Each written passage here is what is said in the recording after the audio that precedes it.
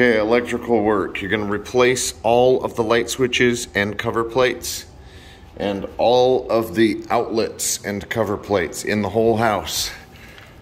Outlets and cover plates, light switches and cover plates. There's also a bunch of light fixtures you need to do. Dining room. And uh, there's a few of these that have a square can light that need to be replaced. So there's gonna have to be some sheetrock patch there. You're gonna get a new LED um, fixture that'll just get tossed up there. You'll have to patch around there to fill it in. Uh, they don't make a trim kit for that very easily to purchase. So you're gonna replace uh, these square can lights. I'm gonna show them to you. There's one here. There's one in the hallway. There's another one in the hall over the um, office thing.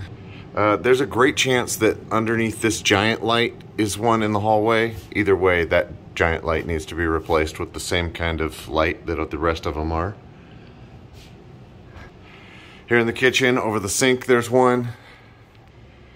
And there's two of those square can lights out in the sunroom. I'm gonna call that the sunroom.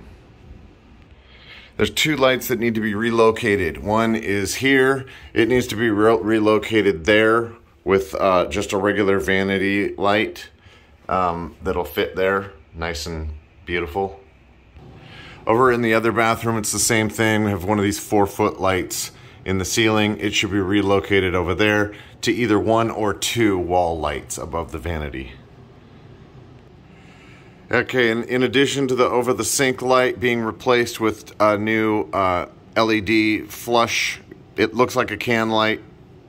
Um, we're also going to re replace this giant uh, fluorescent light with an LED flat light of similar size. It doesn't have to be that wide. Uh, but that there will re be required some sheetrock patching there after you're done doing that. Other electrical work that will be required is um, reconnecting the new vent.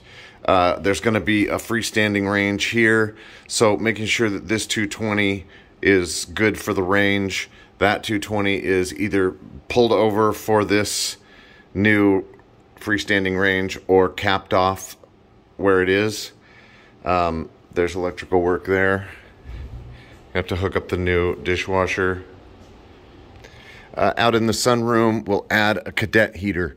Uh, you'll have to run a new circuit from the panel, and uh, you know you'd probably like to see it over here, but there's outdoor siding, so maybe you put the new uh, cadet heater right here because it's easier than cutting it into siding.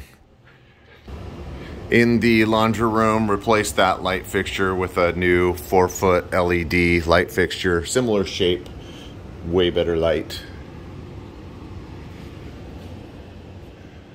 Out here, you can keep that light. Uh, both bedroom light fixtures need to be replaced. That one and this one. And also, that pull cord needs to be replaced with one that has a lamp shade on it. Uh, so get a pull cord lamp with a light fixture with a lampshade.